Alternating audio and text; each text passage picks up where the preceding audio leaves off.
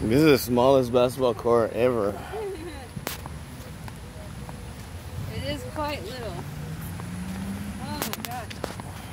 Hot. No, it's a bad choice. you ever see that part? oh yeah. It's so hot. It's really bad. Hey, if we had a basketball, we could play here. You think? Smallest court ever to exist.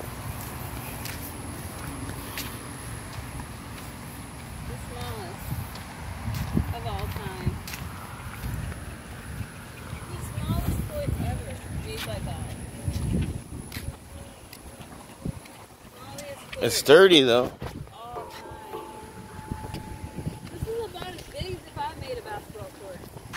What's behind that little nasty heels right there?